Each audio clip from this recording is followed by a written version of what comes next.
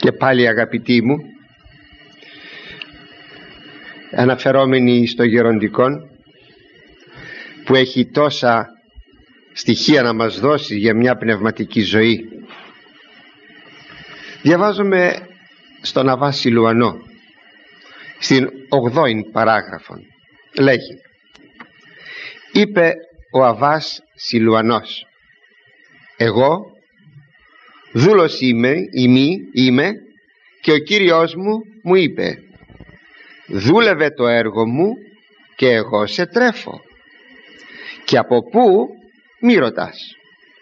Είτε έχω είτε κλέβω είτε δανείζομαι σι μη ρωτάς.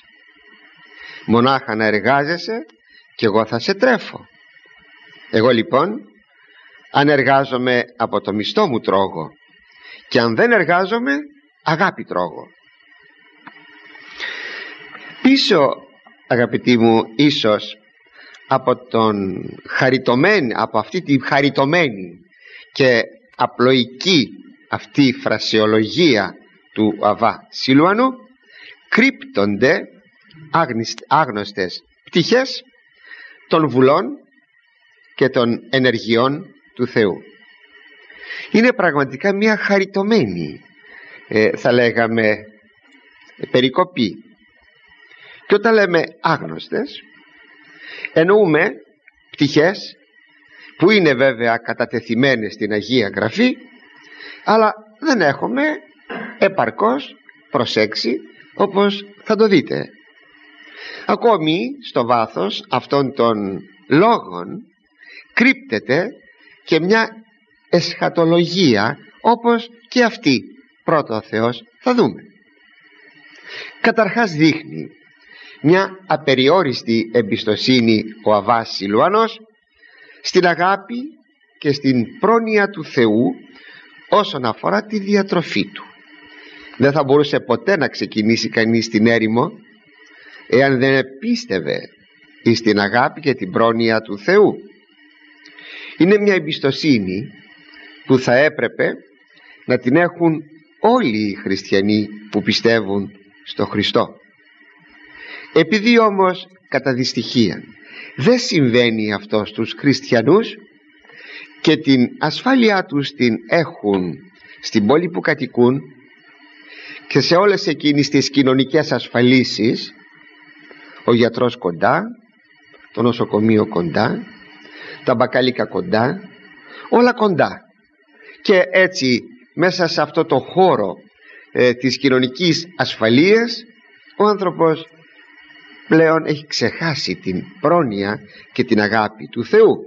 Γι' αυτό ακριβώς έρχονται οι γέροντες της ερήμου να μας ανανεώνουν αυτήν την πίστη στην πρόνοια του Θεού.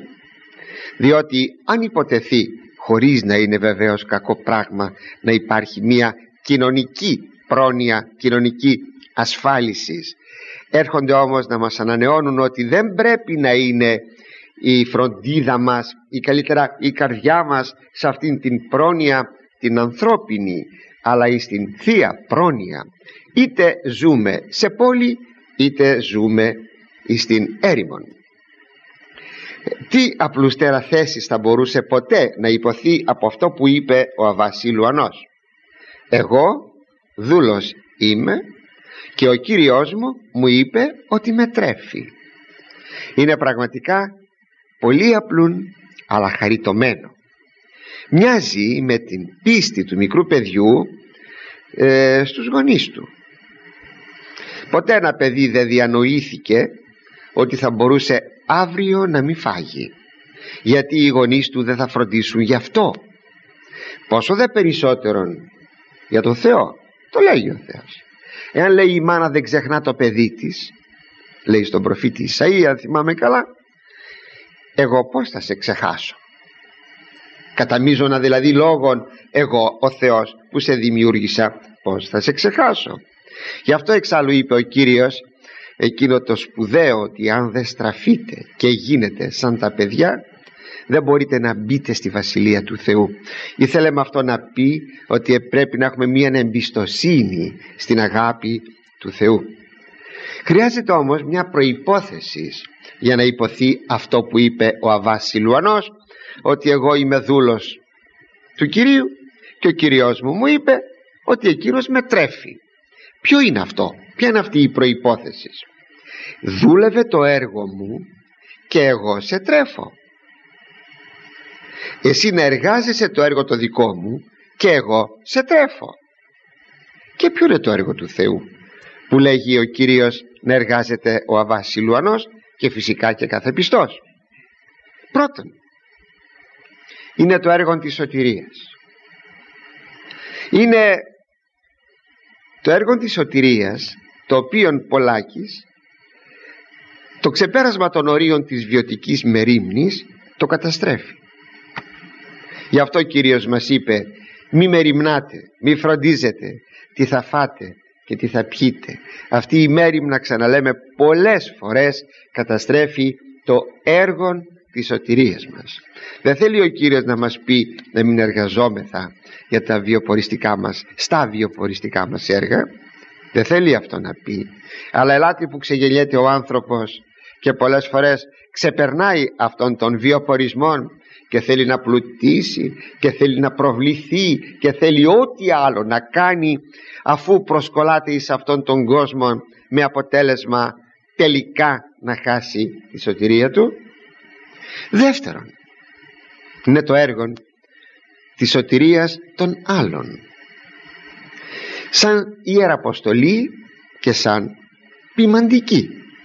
Λέει ο Θεός εδώ εσύ να εργαστείς το έργο το δικό μου δηλαδή τον Ευαγγελισμό και τη σωτηρία των άλλων ανθρώπων αυτό πιο πολύ θα τέριαζε εις τους κληρικούς όχι ο λιγότερο και εις τους μοναχούς. Και εγώ θα φροντίσω για σένα γιατί αν εσύ ασχοληθείς με έργα βιοποριστικά τότε θα βάλεις στο περιθώριο το ποιμαντικό μου έργο. Ενώ αν κάνεις κύριο σου έργο το ποιμαντικό και κάνεις και βάλεις στο περιθώριο το, το βιοποριστικό σου έργο τότε εγώ θα σε τρέφω. Είναι χαριτωμένο και αυτό. Πραγματικά. Δηλαδή ειλικρινά χρειάζεται μία πίστης. Και τέλος ένα τρίτον. Είναι το έργο της ομολογίας του ονόματος του Χριστού σε ημέρες αντίχριστες και αποκλεισμού των πιστών στα κοινά αγαθά σε αυτό το τρίτο αν αντιλαμβάνεστε είμαι θα έξω από την πόρτα. Επιθύρες.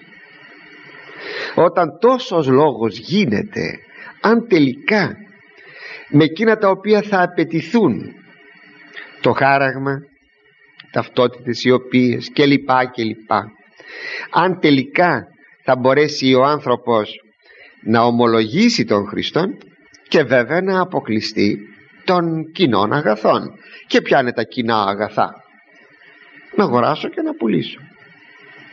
Πως θα ζήσω; Εδώ λοιπόν έρχεται να πει ο Κύριος εγώ θα σε, θα σε θρέψω τι ανησυχείς; Αλλά ας δούμε από πιο κοντά τα πράγματα. Πως ο Κύριος είπε στον Αβάση Λουανό ότι τον τρέφει αρκεί αυτός να μετέρχεται το έργο του Χριστού. Μήπως με καμιά ειδική αποκάλυψη. Αυτό έκανε. Έκανε ο Χριστός εις τον Αβασίλουανό δεν αποκλείεται. Αλλά μάλλον είναι αποκάλυψης δια των γραφών που είναι μια κοινή αποκάλυψη για κάθε πιστό διότι αυτά δεν αποτελούν μόνο για ένα ή πέντε ή δέκα ή εκατό πρόσωπα αλλά για όλους τους πιστούς. Αρκεί κανείς να μάθει όταν μελετά το Λόγο του Θεού να βλέπει να καταλαβαίνει και να πιστεύει. Τότε βέβαια θα δει εκεί αυτό που λέμε στοιχείων αποκαλυπτικό. Και να. Του λέγει ο Θεός του Αβάση Λουανού και από πού θα σε τρέφω; Μη ρωτάς. Τι σε νοιάζει εσένα από πού θα σε τρέφω; Είτε έχω είτε κλέβω είτε δανείζομαι. Δεν ξέρω όταν εγώ το πρώτο διάβασα το νιώσα τόσο χαριτωμένο αυτό. Τι σε νοιάζει εσένα από που εγώ θα σε θρέψω για να δούμε όμως αυτά τα τρία σημεία που λέει είτε έχω είτε κλέβω είτε δανείζομαι. Ας τα δούμε. Και πρώτα αυτό που λέει είτε έχω. Πράγματι έχει ο Θεός. Πάντοτε έχει ο Θεός. Ξέρετε αυτό που τόσο κοινά λέμε έχει ο Θεός. Είναι μια πολύ μεγάλη αλήθεια και που δεν δίδουμε τη δέουσα προσοχή. Το λέμε έτσι από συνήθεια. Έχει ο Θεός αν καταλαβαίναμε όμως τι σημαίνει έχει ο Θεός τότε θα βρίσκαμε εκεί όντως ότι έχει ο Θεός εξάλλου το βεβαιώνει. Το βεβαιώνει η Γραφή. Του Κυρίου η γη και το πλήρωμα αυτής. Όλη η γη δική του είναι. Και ότι υπάρχει πάνω στη γη και τα χωράφια και τα νερά και τα σπαρτά και οι καρποί και τα ζώα τα πάντα είναι δικά του. Αφού είναι λοιπόν δικά του θα δυσκολευτεί να μας τα δώσει αφού είναι δικά του. Ύστερα λέγει σε έναν ψαλμό ο Θεός εάν πεινάσω θα σου πάρω την άδεια να πάω να φάγω να κόψω ένα, ένα ζώο του δάσους για να το φάγω. Θα σου πάρω την άδεια. Δικά μου δεν είναι όλα ο Θεός όμως είναι ανενδεής ό,τι δημιούργησε το έκανε για μας. Για μας που πρέπει να φάμε και να πιούμε όπως και τα ζώα τα οποία και αυτά πρέπει να φάνε και να πιούν. Ο Θεός λοιπόν δεν έχει ανάγκη από τίποτε όμως όλα είναι δικά του. Λέμε στον προημιακών ψαλμών πάντα προς σε προσδοκώσει όλα περιμένουν από σένα.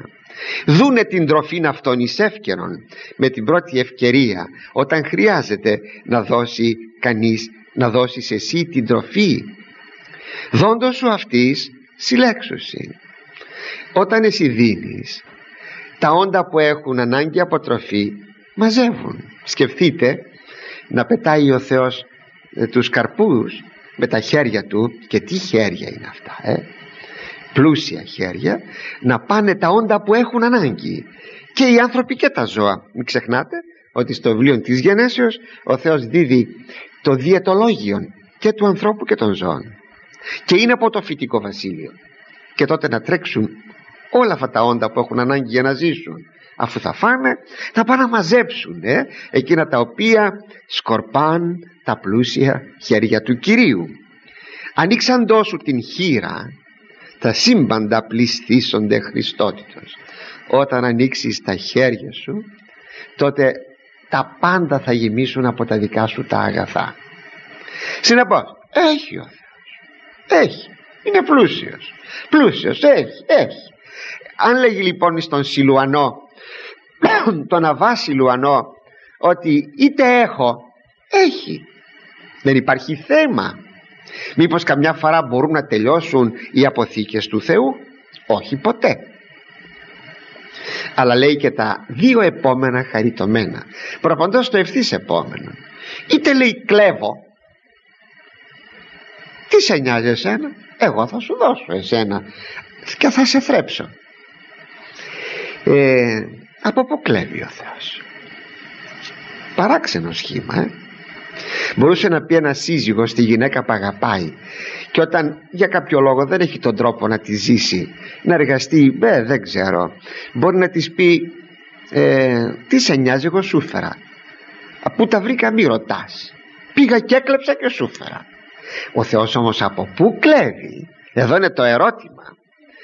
Βέβαια αυτό το κλέβει ο Θεός το είπα και προηγουμένως είναι μια χαριτωμένη έκφραση αφού όλα είδαμε ανήκουν στο Θεό.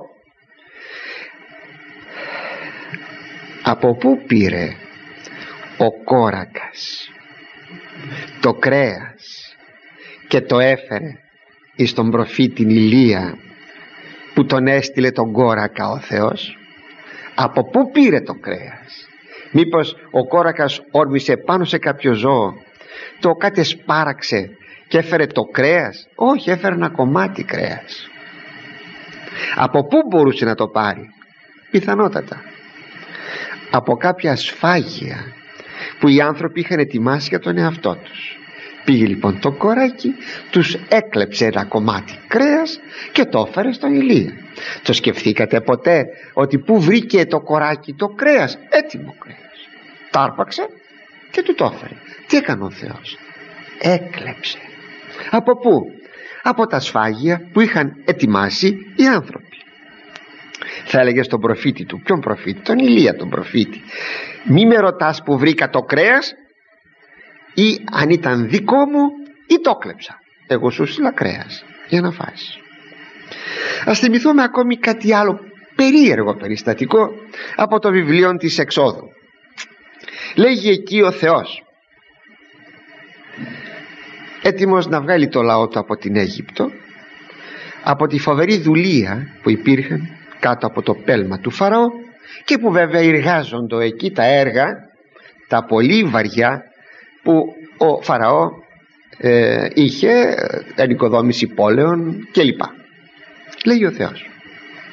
Όταν δεν αποτρέχετε όταν δηλαδή θα σκοτείτε να φύγετε και σημαίνει θα φύγετε βιαστικά ου καπελεύσεστε καινή δεν θα φύγετε με άδεια χέρια από την Αίγυπτο ούτε θα μαζέψετε τον μπογαλάκι σας τα προσωπικά σας αντικείμενα για να φύγετε. Όχι όχι όχι αλλά ετήσι γυνή παραγείτονος και συσκήνου αυτής.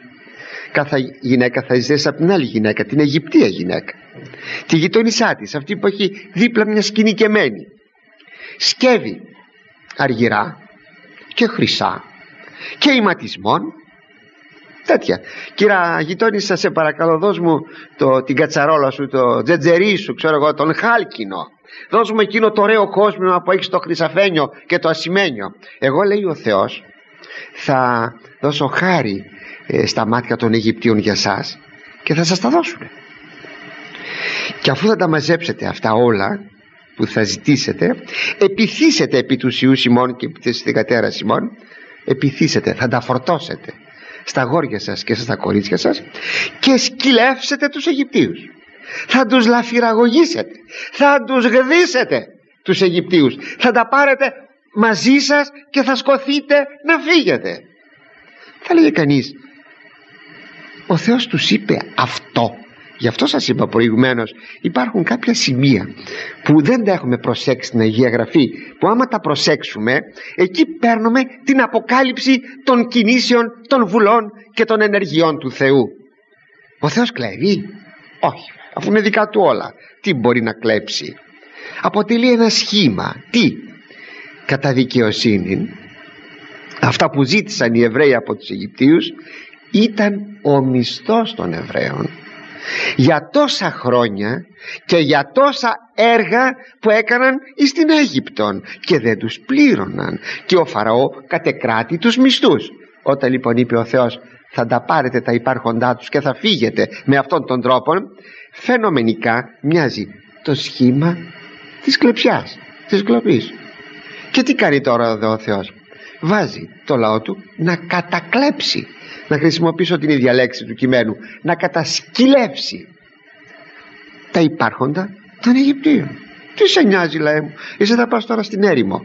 Αλήθεια ρωτήσατε που βρήκαν οι φάσματα; Χρυσάφια σήμη για να φτιάξουν Όλα εκείνα τα σκεύη της σκηνής του μαρτυρίου; Ήταν από εκεί Ήταν από την Αίγυπτο Όταν ο Θεός είπε να λαφυραγωγήσουν Να σκυλεύσουν τους Αιγυπτίους. Θέλετε ακόμη κάτι άλλο να δείτε Ότι στα χέρια του Θεού είναι όλα. Είτε να πάρει από τους ανθρώπους Είτε να δώσει στους ανθρώπους όταν παρακαλώ επέτρεψε ο Χριστός να πνιγούν οι χείροι τι άλλο ήταν; Κάποιοι είπαν και είχε δικαίωμα να καταστρέψει ξένη περιουσία δυο χιλιάδες χείρους και ποιος σου είπε άνθρωπε ότι αυτά που έχεις είναι προσωπική σου περιουσία είναι του Θεού η περιουσία και επειδή σου έδωσες στα χέρια αγαθά εσύ όμως τα αγαθά που έχεις. Δεν τα απέκτησε σύμφωνα με τον νόμο του διότι απειγορεύεται η εκτροφή των χείρων σου τα παίρνει. Δικαίωμά του. Τον λέγεις ότι είναι κλέφτης; Εσύ είσαι κλέφτης. Διότι κατεχράστης την καλοσύνη την αγάπη του Θεού και συνεπώς έτσι με τον τρόπο αυτόν τα νόμισες δικά σου. Όχι σου τα παίρνει ο Θεός και μένει το σχήμα ότι σου τα κλέβει ο Θεός. Δεν είναι κλέφτης ο Θεός. Εσύ είσαι κλέφτης. Και συμπληρώνει ο Θεός το τρίτον. Τι σε νοιάζει λέει μη με ρωτάς. Εάν έχω εάν κλέβω ή εάν δανείζουμε. Αλήθεια από πού δανείζεται ο Θεός; Από πού δανείζεται ο Θεός; Από πού; Από τους ελεούντας από εκεί δανείζεται ο Θεός. Δεν λέγει η Γραφή δανείζει Θεό ο ελαιών πτωχών. Είναι στο βιβλίο των παροιμιών στο 19ο κεφάλαιο. Αυτός ο οποίος δανείζει λέγει συγγνώμη ελεεί των πτωχών δανείζει το Θεό. Άρα λοιπόν ο Θεός δανείζεται και σου δίνει. Τι σε νοιάζει λοιπόν αν εγώ δανείζομαι και σου δίνω; Εγώ σου δίνω. Παρακάτω μη ρωτάς. Είναι χαριτωμένο.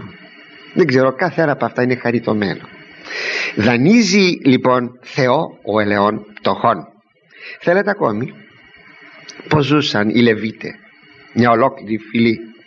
Όλες οι άλλες φυλές προσέφεραν την δεκάτη εις των ναών στο χέρι του Θεού. Και ο Θεός έπαιρνε με το χέρι του και έδινε εις τους Λεβίτες. Αυτά ανήκουν εις των Θεών κατά δικαιοσύνη και ο Θεός τώρα τα δίδει εις τους Λεβίτες που υπηρετούν τον ναό. Εδώ. θέλετε ακόμη; Είναι εκείνο που πάλι λέγουν οι παροιμίες στο 14ο κεφάλαιο ο τιμών των Θεών ελεεί πτωχών. Εκείνος ο οποίος τιμά το Θεό αγαπά το Θεό ελεεί τον, των πτωχών. Ο φτωχός μπορεί να μην αξίζει ούτε να τον προσέξει κανείς αλλά όταν όμως τιμάς το Θεό στην πραγματικότητα στην πραγματικότητα αφού αγαπάς το Θεό θα ελεήσεις των πτωχών και το κάνει αυτό ο Θεός για να ελεήσεις των πτωχών χρησιμοποιεί την τιμή που δίδει στο Θεό για να δώσεις αγαθά εις των πτωχών δηλαδή μια κοινωνία αγαθών με κέντρο το Θεό. Ένα παρεδώσε κέντρο όμως είναι ο Θεός. Στο βάθος όμως όλων αυτών υπάρχει και μια εσχατολογία σας το είπα στην αρχή. Στις αντίχριστες ημέρες ο Θεός λέγει θα τρέφει το λαό του στην έρημο κατά το ιστορικό πρότυπο της ερήμου ε, στο Σινά όταν ετρέφεται ο λαός με το μάνα.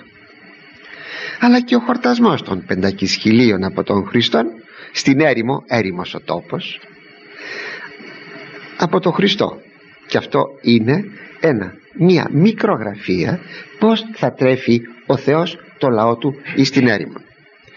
Σημειώνει ο Θεός. Βεβαιώνει μάλλον ο Θεός.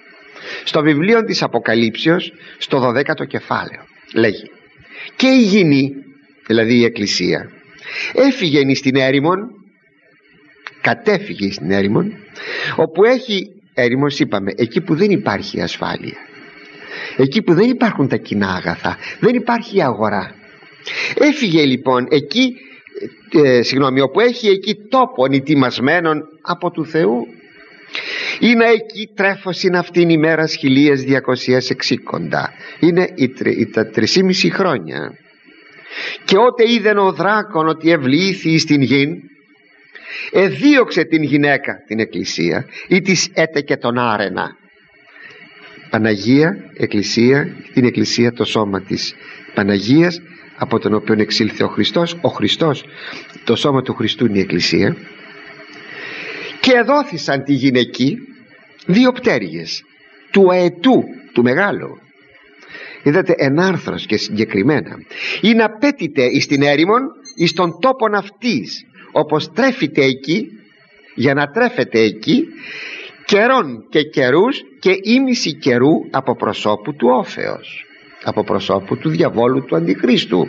Τρισήμιση χρόνια. Πάλι. Τι είναι αυτές οι πτέρυγες; Που δίδονται από το Θεό αυτές οι πτέρυγες.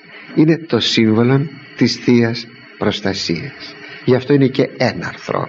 Λέγει Φερρυπίν το βιβλίο της Εξόδου. Λέει ο Θεός στο λαό του αυτοί εωράκατε εσείς οι ίδιοι είδατε έχετε δει. Όσα πεποίηκα της Αιγυπτίας όσα επέφερα και έκανα εις τους Αιγυπτίους και ανέλαβον ημάς σας πήρα. Οσί επιπτερίγωνα ετών πως σηκώνουν οι αετοί ε, εκείνο που ε, το θύραμά τους και προσυγαγόμενοι μας προς εαυτόν. Και σας έφερα κοντά μου.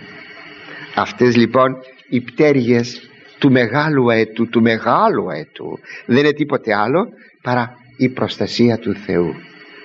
Έρχεται να προστατεύσει την Εκκλησία τις έσχατες μέρες. Είναι καταπληκτικό. Για σκεφτείτε. Γι' αυτό μη λέει κανείς σαν πιστός ότι τι θα φροντίσω, τι θα φτιάξω, τι θα κάνω. Όχι, μπορεί να έχεις στο σπίτι του τρόφιμα για την εβδομάδα του, για το μήνα του, όπως ακριβώς θα είχαν και όλοι πάντοτε οι άνθρωποι όλων των αιώνων και όλων των εποχών το κελάρι τους. Όχι για τις έσχατες μέρες με την έννοια τι θα κάναμε από προσώπου Αντιχρίστου. Όχι πως θα είναι αυτή η διατροφή του λαού του Θεού; Μόνο ο Θεός το ξέρει. Πριν περάσουν την ερυθρά θάλασσα οι Αιγύπτιοι μπορούσαν να φανταστούν ότι θα πέφτει το μάνα το ψωμί από τον ουρανό. Ασφαλώς όχι. Και τώρα ο Βασιλουανός λέγει για να κλείσω με αυτά τα πολύ ωραία που είπε εγώ λοιπόν ανεργάζομαι από το μισθό μου τρόπο βεβαίως εργάζομαι. Δεν είμαι σε μια κατάσταση αεργίας γιατί είπαμε ότι εργάζεται το έργο της σωτηρίας του και το έργο της σωτηρίας των άλλων. Άρα λοιπόν έχει μισθό και τρώγει από το μισθό του. Του δίδει ο Θεός των μισθών τον τρέφει ο Θεός. Και προσθέτει και αν δεν εργάζομαι αγάπη τρώγω και αν όμως δεν εργάζομαι τι σημαίνει αυτό; Ότι αν δεν εργάζομαι το βιοποριστικό μου έργο γιατί έτσι θέλει ο Θεός με τρέφει πάντως η αγάπη του Θεού. Και αυτό είναι πολύ μεγάλο.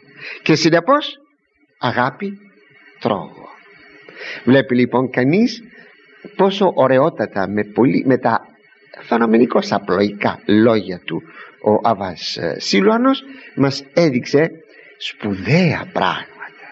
Πολύ σπουδαία πράγματα αλήθεια. Πόσο αξίζει Αγία Γραφή και πόσο εκείνοι που πρακτικά την ερμήνευσαν. Δηλαδή οι πατέρες της ερήμου